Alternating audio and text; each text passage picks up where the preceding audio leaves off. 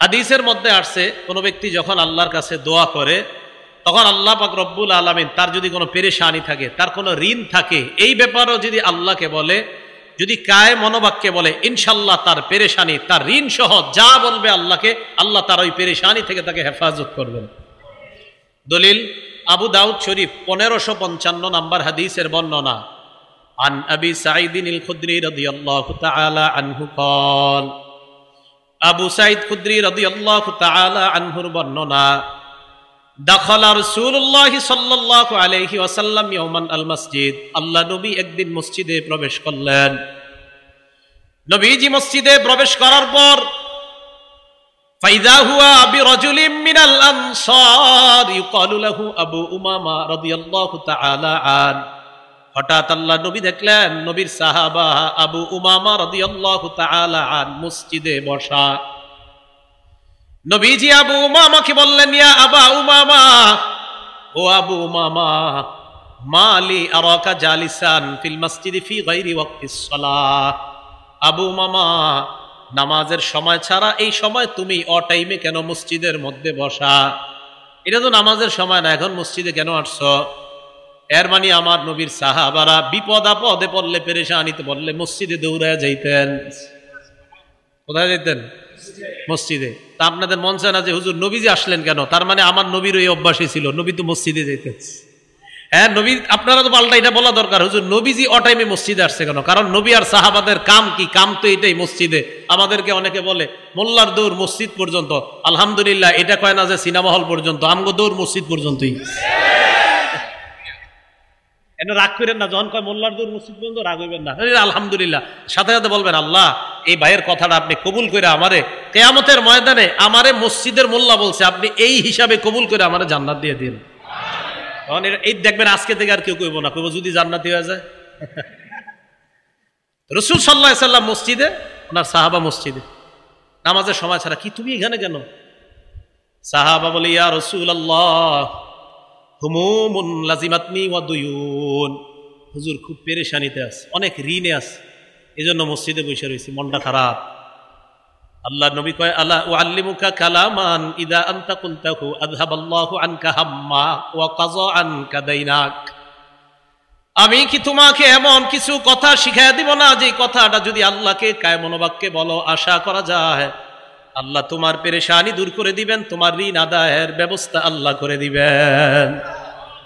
ইয়া রসুল আল্লাহ এমন আমলই তো আমার দরকার যে আমল করলে আমার ঋণ আদায় পরিশোধ সহজ হয়ে যায়, এমন আমল আপনার কাছে জানতে চাই। অনেকে ঋণ নিয়ে আবার ঋণ দিতে চায় না, ঠিক না?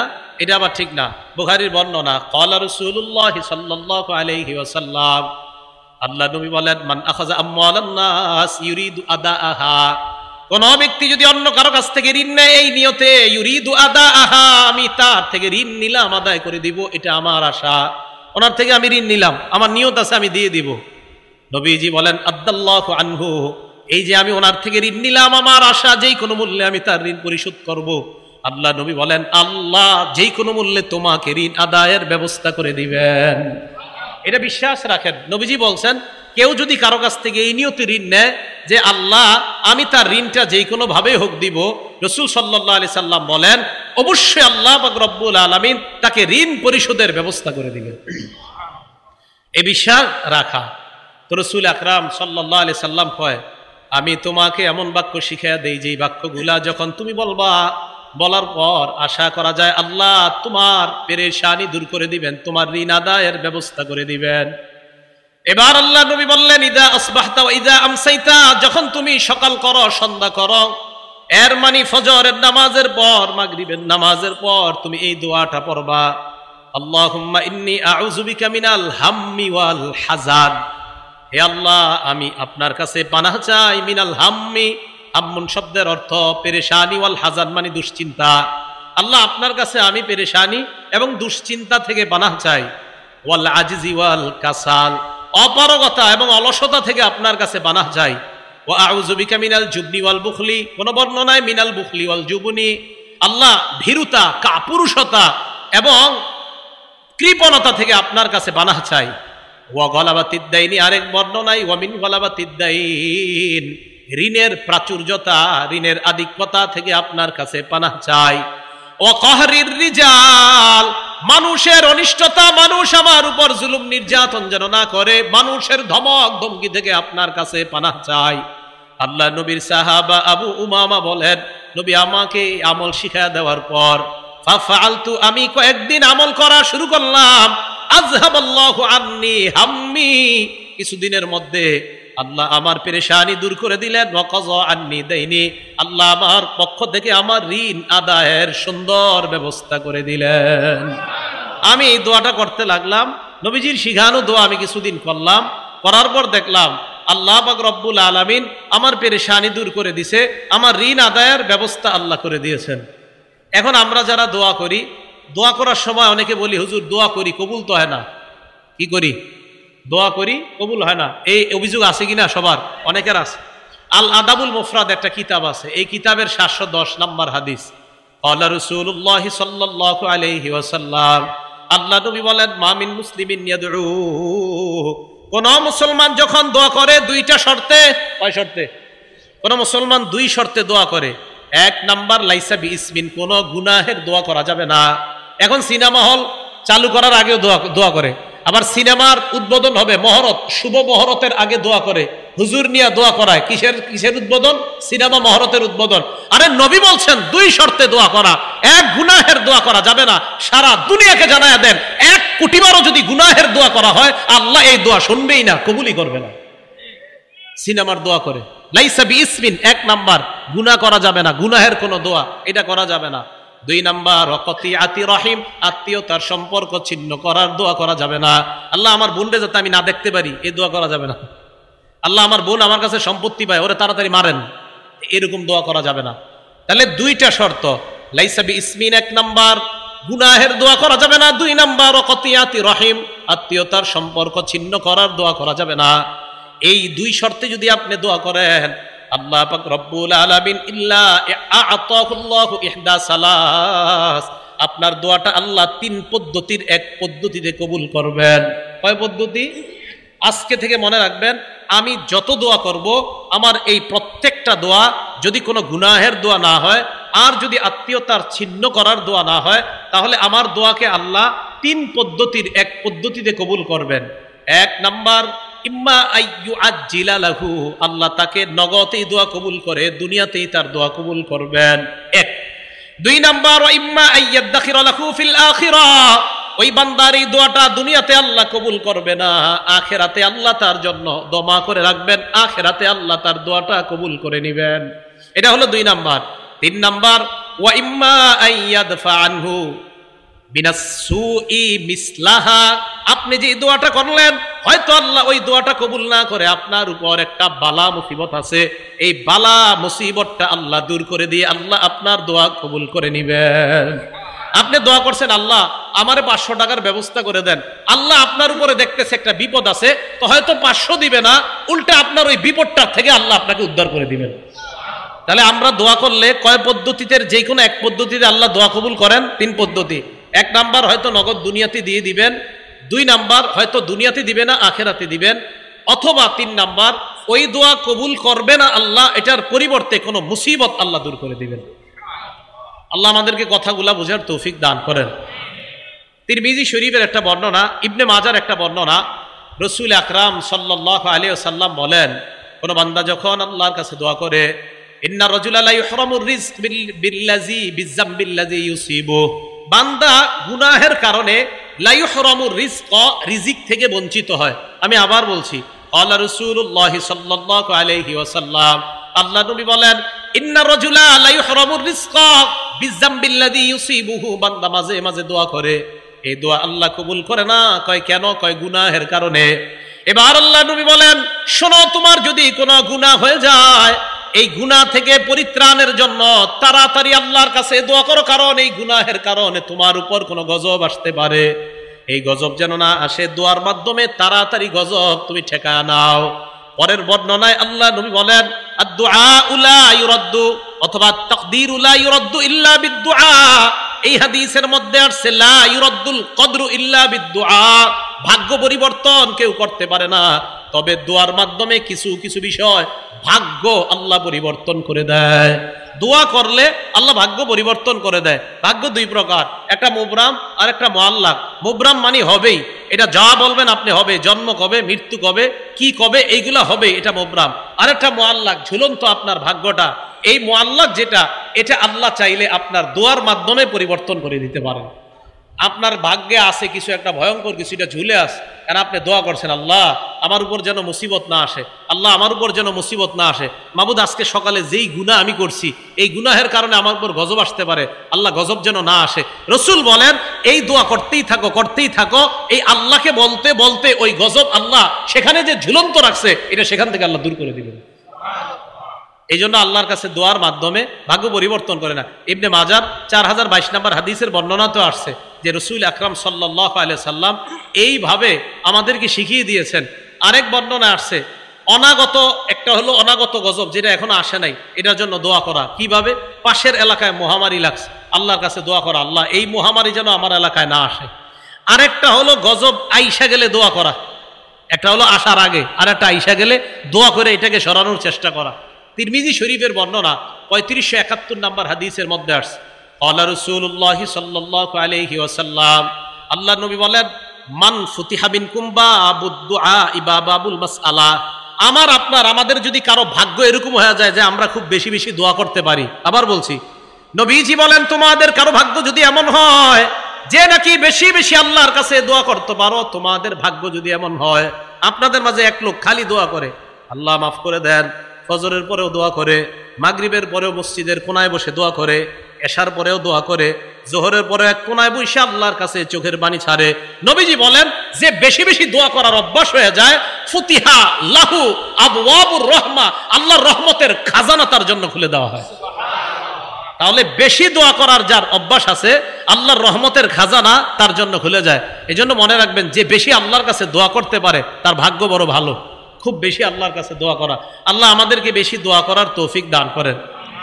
তো রসুল আকরাম সাল্লা সাল্লাম এই হাদিসের শেষের দিকে বলেন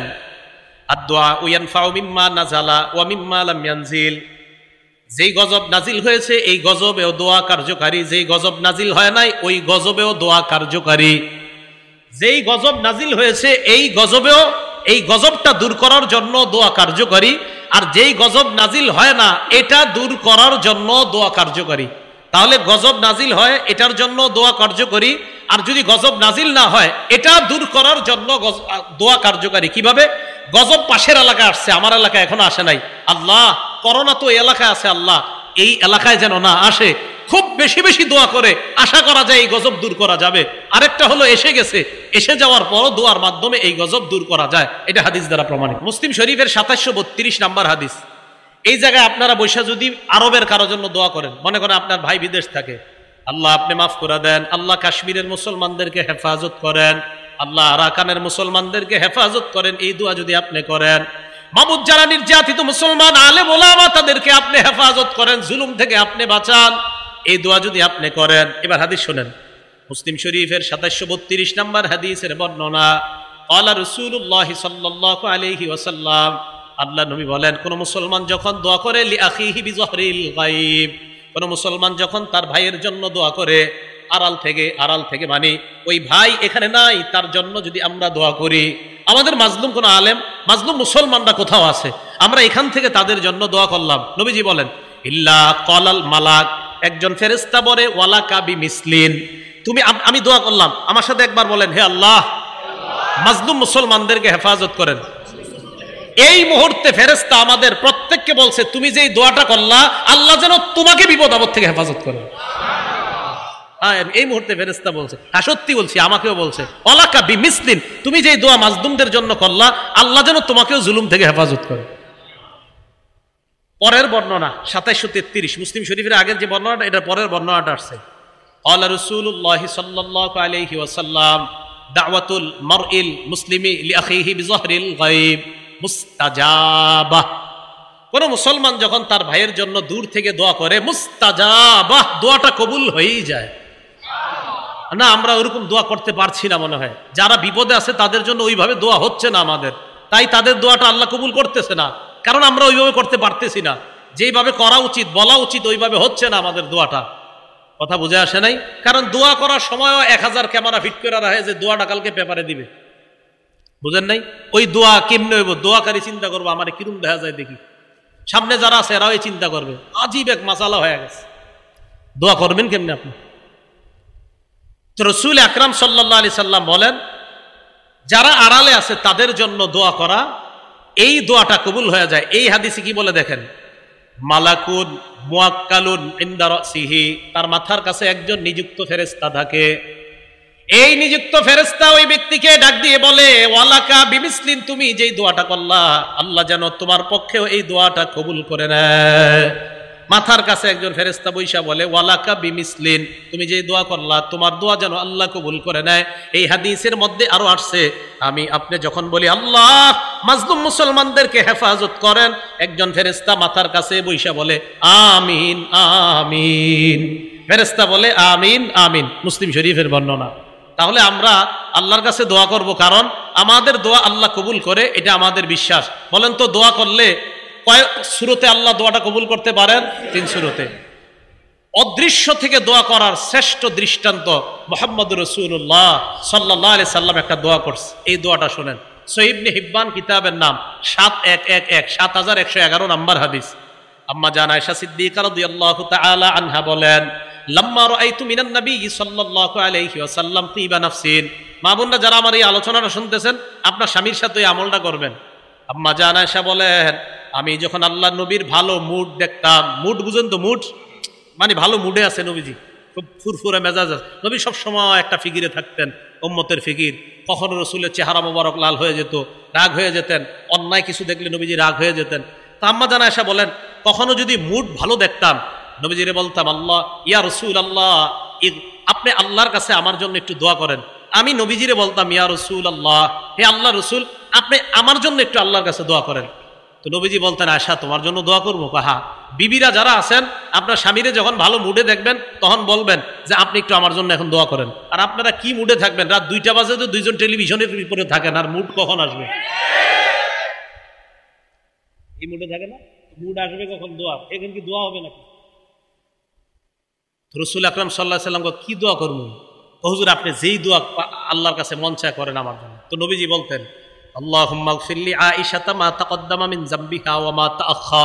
আল্লাহ আপনি আয়সার আগে পরের সব গুণা মাফ করে দেন। প্রকাশ্য এবং গোপন যত গুণা আছে আল্লাহ সব মাফ করে দেন। আম্মা যান আয়সা সিদ্দিকা দহিকাত হাসা শুরু করতেন খুশিতে। দেখেন কি বলে? হাসতে হাসতে হাসতে হাসতে, হাত্তা সুহাফি হেজরিহা। আম্মাজান হাসতে হাসতে ওনার মাথাটা কোলের উপর গিয়ে পড়তো, এত হাসতেন। কেন? তো নবীজি আয়সা হাসো কেন? খুশিতে? আল্লাহ রসুল সাল্লাহ সাল্লাম, আম্মা জান আয়সা সিদ্দিকা বলতেন আয়সা আয়া সুররু কি দোয়া আমি দোয়া করলে কি তুমি অনেক খুশি হও? তো আম্মা জান আয়সা বলে, জি হুজুর, আপনি যে দোয়া করেন খুশি। এই, এর, এই দোয়া শুনলে কার না খুশি লাগবে? তাই আপনার এই দোয়া শুই না। আমি খুশিতে এত খুশি হয়ে যাই, হাসতে হাসতে আমার মাথা, আমার শরীর উপর পরে এত পরিমাণ আমি খুশি হয়ে যাই। নবীজি বলেন আয়সা আমি যে দোয়াটা তোমার জন্য করলাম, তুমি অনেক খুশি হয়েছো না? হ্যাঁ নবীজি কি বলে দেখেন ইন্নাহা আলা দোয়া ইলি উম্মতি ফি কুল্লি সলা। আয়সা আমি তোমার জন্য যে দোয়াটা করলাম, আমি যতবার নামাজ পড়ি, নামাজের পর আমি যতবার দোয়া করি, আমার উম্মতের জন্য ঠিক এই দোয়াটা ততবার করি। চিন্তা করেন। আম্মাজান আয়সা সিদ্দিকাকে যা বললেন, নবীযুগে আমিও আল্লাহরে বলি, আল্লাহ, আমার উম্মতের আগের, পরের, প্রকাশ্য, অপ্রকাশ্য সব গুণা মাফ করো। আমরা এখনও দুনিয়াতে আসি নাই। পনেরো শত বছর আগে আমাদের জন্য দোয়া করে গেছেন। তো দূর থেকে, আড়াল থেকে আমাদেরকে দেখে নাই যিনি, না দেখা যিনি দোয়া করার শ্রেষ্ঠ দৃষ্টান্ত দুনিয়াতে দেখা গেছেন। রসুল আকরাম সাল্লাহ আলি সাল্লাম তাই বলেন এখন, যদি বুঝে এসে থাকে, আমরা দোয়া করব কার কাছে? আল্লাহর কাছে। দোয়ার বিরোধিতা করবেন না তো? না না, দোয়ার বিরোধিতা করেন না। যারা দোয়া করতে জানে, তাদের দিল বড় সাফ। দিল খুব সাচ্চা। এদের দিল বড় নরম থাকে। তাই আল্লাহকে বেশি বেশি ডাকা। আল্লাহকে যেন সবাই বেশি বেশি ডাকতে পারে, আল্লাহ তৌফিক দান করেন। তাহলে হেদায়তের উপর থাকার এক নাম্বার উপায় আল্লাহর কাছে দোয়া করা। বলেন, আল্লাহর কাছে কি করা? দোয়া করা। এবার আসেন। হেদায়ত যে আল্লাহ আপনারে দিবে, কোন জায়গায় দিবে? আপনি মানুষটারে হেদায়ত দিবে? হ্যাঁ বুঝেন। আল্লাহ যে আপনাকে হেদায়ত দিবে, আপনার কলপটাকে হেদায়ত দিবে। বলেন কাকে? সবাই বলেন কাকে হেদায়ত দিবে? দলিল সুরায় তাগাবুন, এগারো নম্বর আয়াত। আল্লাহ বলেন যে ব্যক্তি আল্লাহকে বিশ্বাস করে, আল্লাহর উপর বিশ্বাস রাখে, আল্লাহ তার কলবকে হেদায়ত দান করেন বলেন আল্লাহ কাকে হেদায়ত দান করেন? কলবকে। ইবনে মাজার একটা বর্ণনা, তিন হাজার নয়শো উননব্বই নাম্বার হাদিস। অমর ফারুক রদি আল্লাহ তালানহু একদিন ঘর থেকে বের হইস বের হওয়ার পর খরজাই ওমান মিন বাইতিহি ইলা মসজিদি রসুলিল্লাহি সাল্লাল্লাহু আলাইহি ওয়াসাল্লাম।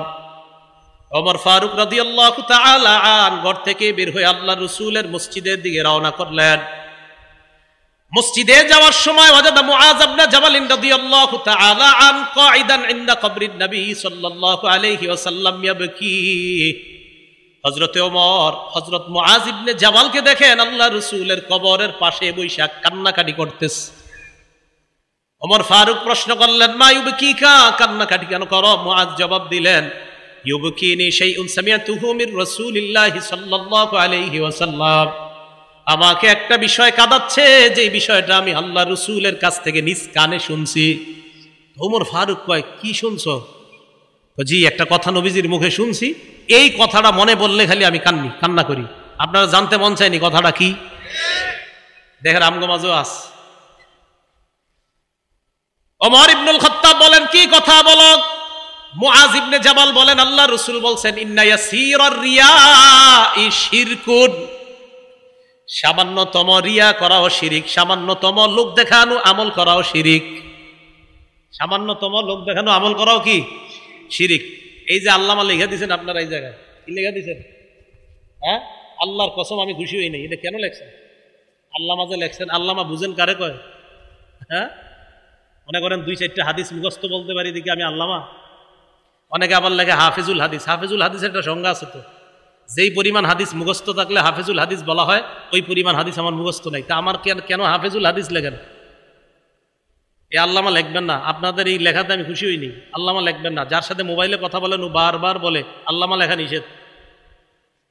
হয়তো এই জায়গায় বলা হয় নাই। আল্লামা লেখেন না। আল্লামা আল্লামার একটা ওয়েট আছে, একটা ওজন আছে। বলতেছেন, হুজুর, আপনি খুব বিনয় দেখাচ্ছেন, ঘোড়ার ডিম দেখাইতেছে। আল্লামা, এটা না লেখা বিনয় না। আল্লামা, ও এত ঘোড়ার ডিমের ব্যাপার, আল্লামা। কারে লেখেন আল্লামা? আমি তো বুঝি না, কি লেখছেন এটা আল্লামা? মানে মন চাইলে লিখে দিয়েছেন আল্লামা। আল্লামারা সামনে আসে না, আল্লামারা নির্বিধিতে আড়ালে আছে জায়গায় জায়গায় আছে এদেরকে চিনবেন না, বুঝবেন না। এদেরকে খুঁজে খুঁজে ওলামা একরাম চিনে নেয়, জায়গায় জায়গায়। আল্লামা যেখানে সেখানে আল্লাহর অস্তে লাগাই দিয়েন না।